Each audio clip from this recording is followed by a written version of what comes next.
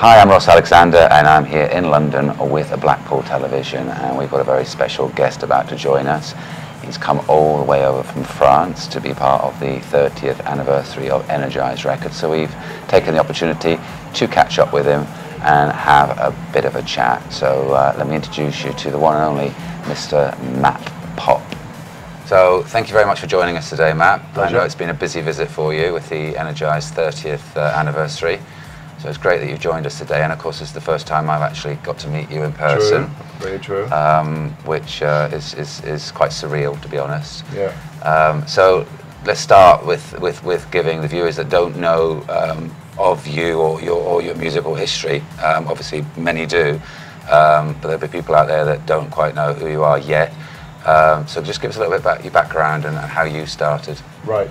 Well, um, I've always done music uh, privately for myself, and then um, later on, I started doing bootlegs, bootleg mixes Yeah. um, of you know stuff that I liked, just uh, um, Depeche Mode, Yazoo, ABBA, and I started putting those out online on YouTube, and I started to gain a bit of a following, um, and I got more and more reactions from them. Um, and then after a while, a few people uh, reached out to me. Uh, you were one of them.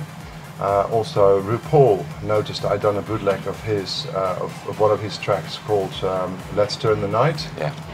He asked me if he could release it officially, so that was a big, sort of a big kickstart for me uh, to get my name out there.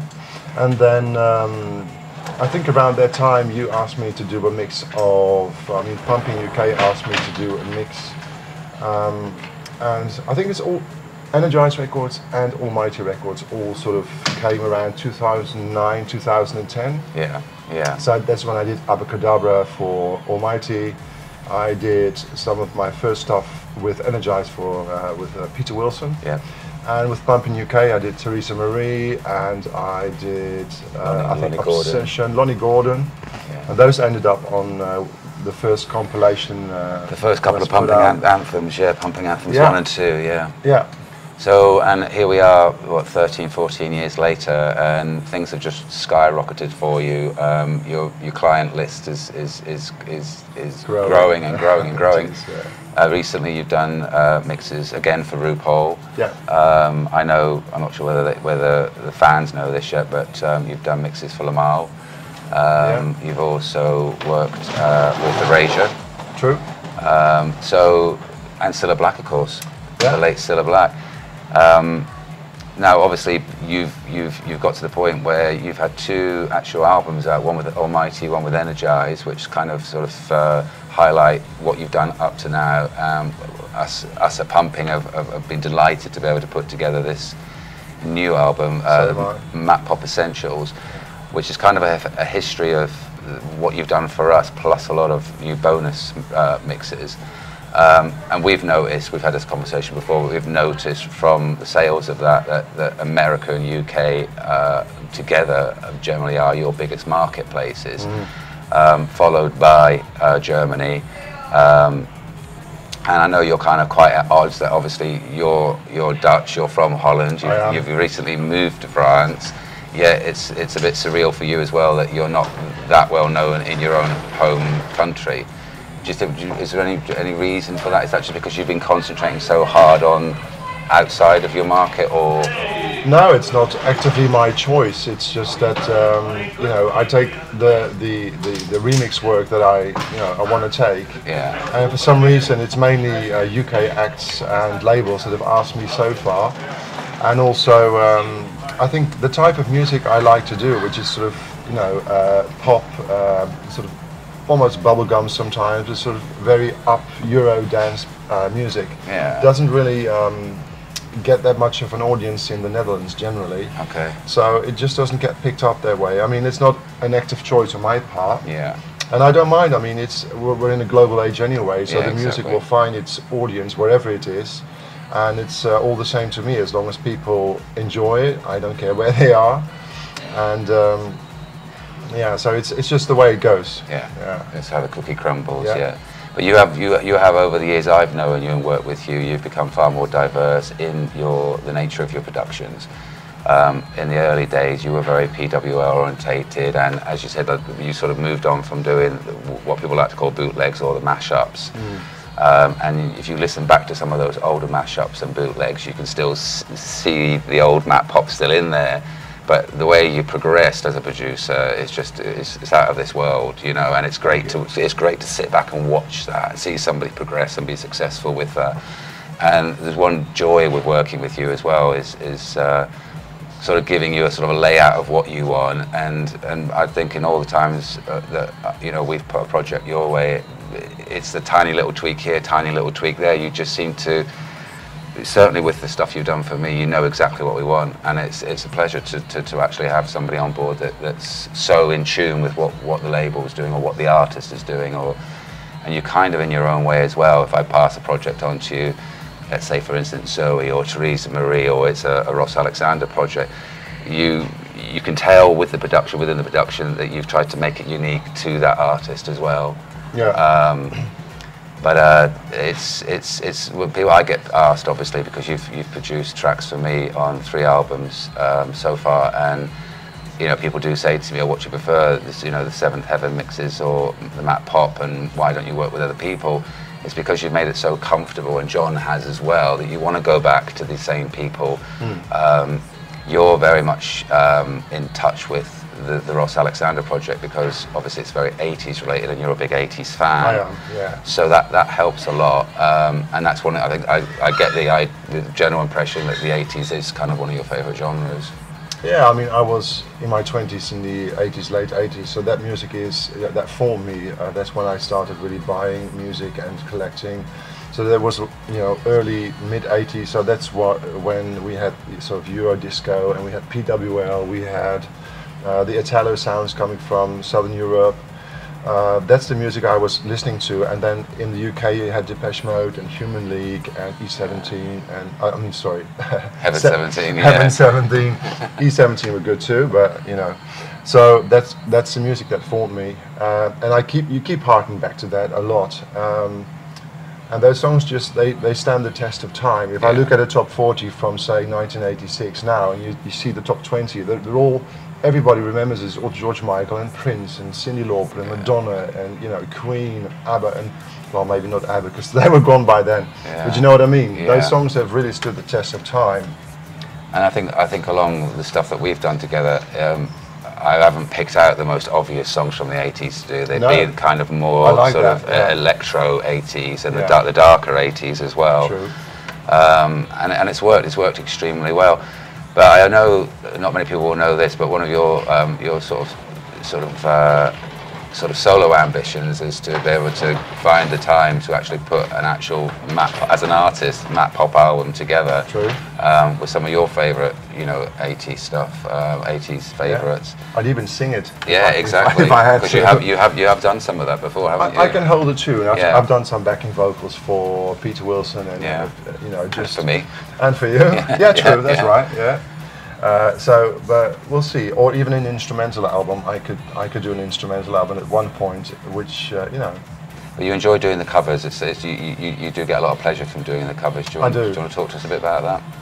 Yeah, I mean, sometimes uh, you get flack over um, doing covers. People say, "Oh, not more covers. Why don't you do original songs?" But the thing is, you know, if you're a big name artist, you know, if you are Beyonce or Adele or whoever, and they bring out a new song and it's an original song, everybody will want to listen because it's them, you know. Yeah, yeah. If you're not a huge name artist, like some of the people I work for, and you do your own song, I mean, it can be the best song in the world, people will just not easily find your song. Yeah. Whereas if I say, oh, we're going to do a cover of, uh, you know, a, a, Human League song, we're doing a cover of Blancmange, or we're doing a cover of ABBA, people will sit, gets a, they sit up and take yeah, notice. so the song itself will attract people, and then I think there's nothing wrong with doing a good cover version because uh, a cover is just a great song that has been done by somebody else before. Yeah. And many of the great songs, they've been done by so many artists over the years, and nobody bets an eyelid. I mean, yeah. even the greatest hits are sometimes written for the band,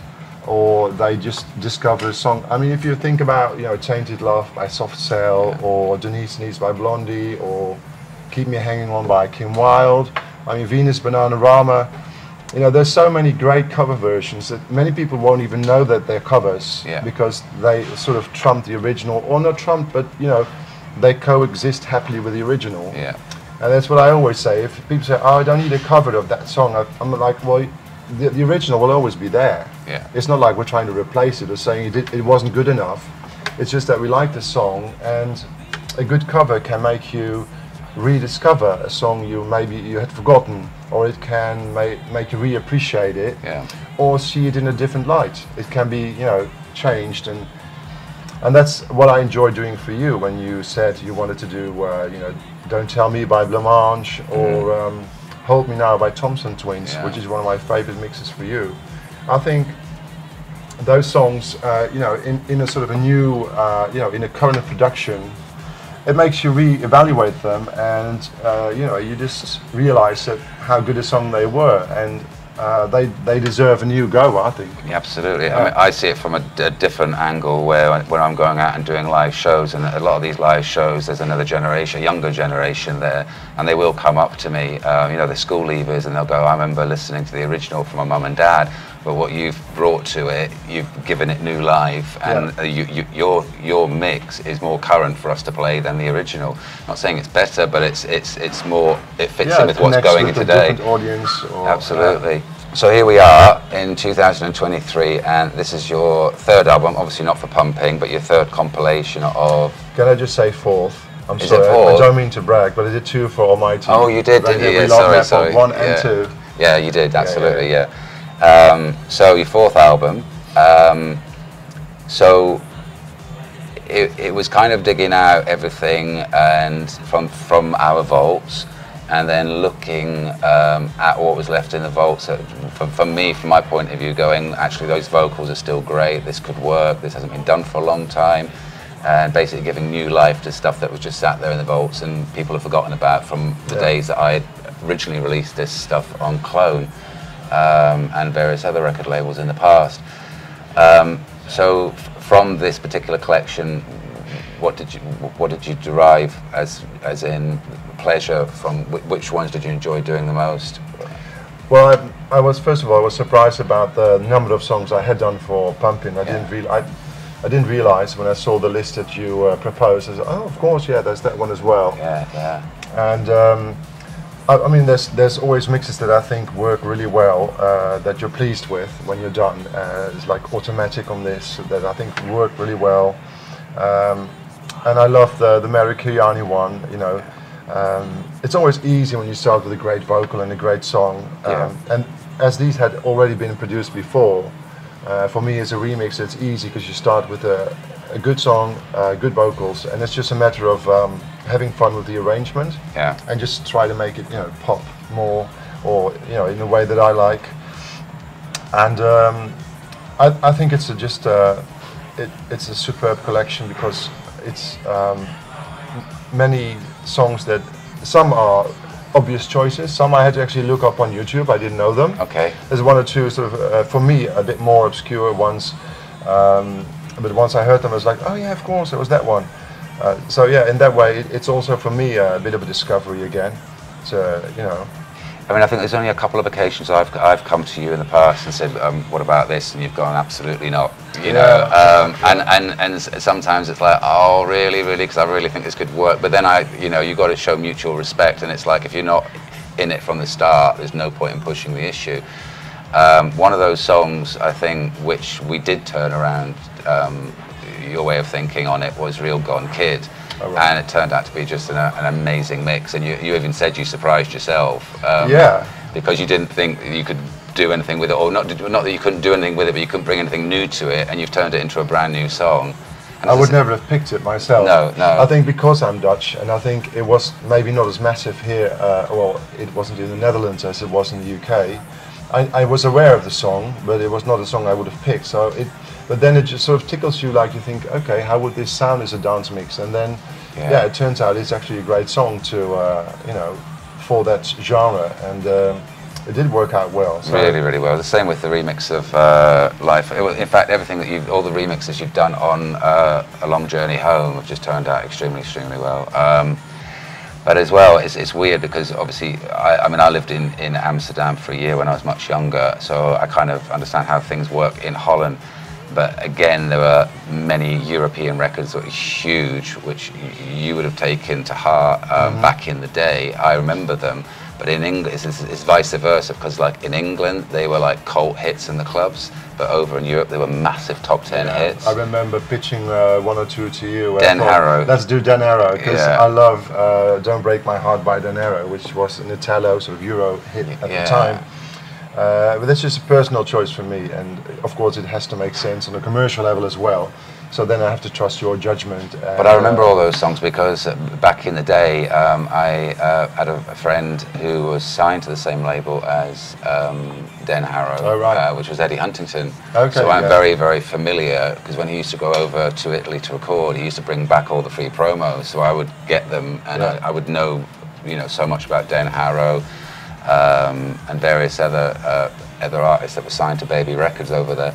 So I get it, but it's just a case from a record label's point of view, you have to be very careful. Um, you know what what you're putting out there because they will attract a niche market, um, and then they're slightly more difficult to introduce into live shows over here. So I've, you've had to, I've, I've had to, from a personal point of view, box very carefully what is going to work here and what's not.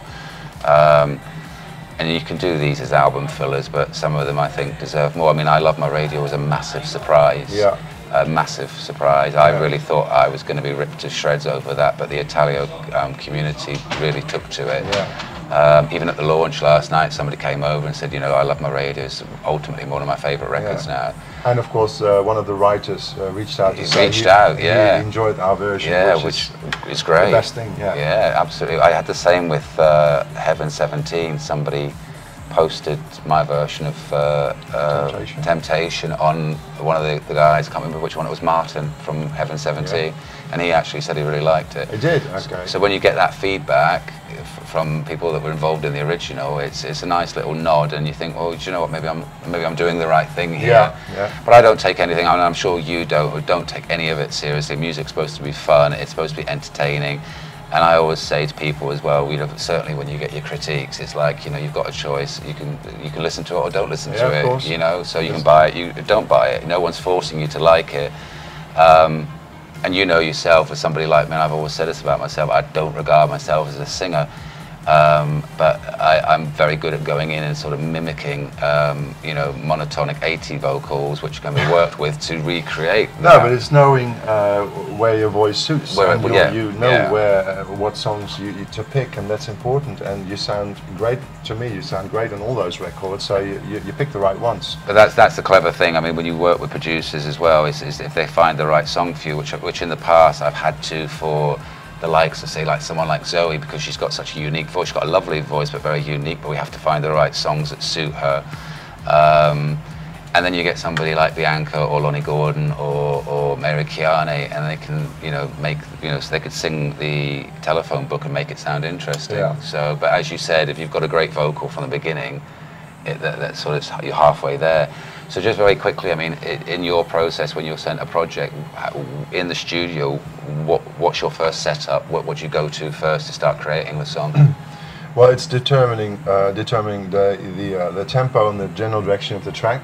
Uh, I start, of course, I usually get sent uh, just the vocals Yeah. to work w- with. So I import the vocals. Uh, maybe if I if they need a little bit of work, you know, you need sometimes to tune and time and maybe adjust the tempo to your liking.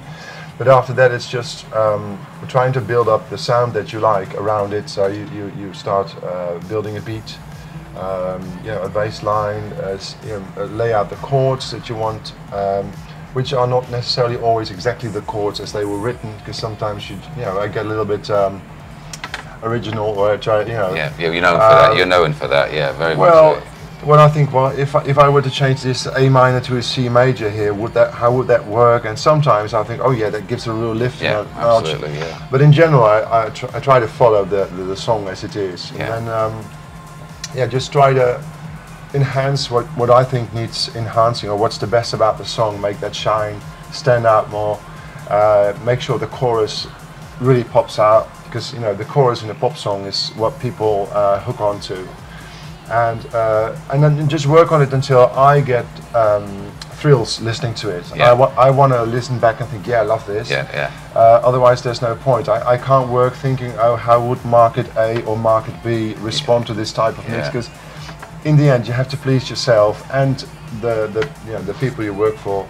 And because if you if you don't put that passion in, I don't think people will. Yeah. They, they, in the end, you will sort of um, be caught out as just you know trying to be something that you're not. And you know, I, I just do what I like, and if, if it's finished, I hope that I can listen back to it and love it from start to finish. And I have to say, with the music I've done uh, for you know Ross Alexander, the artist, when I listen back to those albums, there's not a moment where I think, "Ooh, I, I wish I'd done that differently." Yeah, I, yeah. I, I love listening to "Don't Tell Me" and uh, "Hold Me Now" and "Mirror Man." I mean, really all of them. Yeah, living for on the ceiling was was Living on the ceiling. Yeah, that uh, was, that was another one that I thought, "Ooh, how am I, how am I going to uh, you Yeah, know, approach yeah. that?" But in the end, uh, I love how it came out. when I listen back to the 12 inch of that, it's epic. You know, It's fun, it's, isn't it? it's, Yeah. it takes you on a journey. Okay, good, yeah. So, um, but did you ever get? Because when I used to produce, um, I used to always have that dilemma. I'm not sure whether you have it or not, but you you, you, you get so far and you're happy with it, but you just can't let it go because it's something Oh, not quite. Did you do, do you suffer with the same Oh thing? yeah, that's that. The, the most difficult thing is deciding when it's good enough. Yeah, when's and enough, of yeah. course, as a producer, you tend to work for hours on end on a track, so you, you can easily spend seven, eight hours working on you know two minutes of music a day, um, and then it, your judgment gets so clouded, or you get so tired that you you can't really tell anymore what, what what you liked about it in the first place. So Yeah, yeah. the important thing is to sometimes take a step back, uh, leave it for a day or two, and come back with fresh ears, and then you listen. You, you think either, okay, what was I thinking, and scrap the whole thing, or you think, oh my god, this is really good, and continue. And then, yeah, So we're nearly at the end of 2023, and uh, so just give us three of your. Uh, what, what, if I've said to you, what were your three highlights of 2023? What would they be? Oh, good. Well, I did a mix for a Spanish uh, electro group called Fangoria. Yeah. And um, my late best friend, who is sadly not with us anymore, um, he was my best friend for many years. He was a huge fan of Fangoria. They are an electro duo Yeah. that's been going for, I mean, 30 years perhaps. The singer Alaska is a major star in all these Spanish speaking countries. Um, so it was a real thrill to be asked by them, by uh, Warner Spain, to do a mix for them. Uh, and it was a great song as well, and it went down really well with their fans, which is important. So there was a real highlight for me. I have to say, um, Matt Pop Essentials was Okay. uh, it really was a highlight because um, between it being proposed to me and the labels, you know, when I got the songs, the track list, and I had to do six or seven new ones. Yeah, yeah. So it's it was quite quite a, ta- a challenge Yeah, uh, and to you had, over you, the summer. you, had, you had quite a workload on as well at the same time. Yeah, so, so, I had to was a lot of it pressure. in. Yeah, Yeah, but then um, apparently I, I'm- I, I, I really got into it. I got stuck in, and um, we got it finished quite quickly. And uh, maybe we had an angel on our shoulder because certainly did. every every uh, mix we did, uh, we decided that we both really liked them, and it went relatively quickly.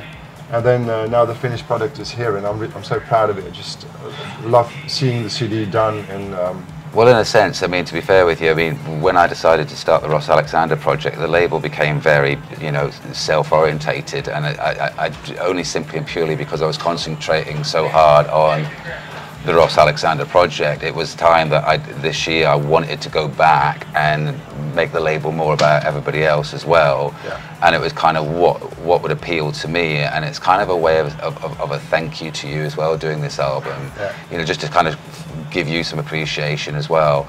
Um, and it's the same with the next album that's coming out, uh, which is a album which is most well, it's all produced by Seventh Heaven. It's my way of sort of saying, look, there's something finished for you, and, and it's about keeping that relationship going. You know, when, you, when you're happy. I mean, I'm over the moon um, that I've, I've got you on board with the label, and I've got Seventh Heaven on the label. Two very different production outfits, um, but the sound works uh, so well for me, um, and it's what I would want. uh, You know, if if I, if I'd been signed to another label, I would, you know, as an artist or a Yeah. producer, that I would always be saying Matt Pop, Seventh Heaven.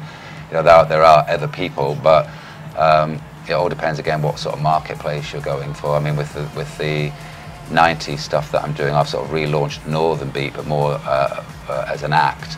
which is generally um, whoever the vocalist, and which isn't me. Uh, we've got Son of a Gun coming out, and you know, again, we needed a house mix, of course, uh, for that, and so we went to someone that could do that um, for the package. Um, but again, it's again with a record label, and we're a very small record label. We're based in Blackpool.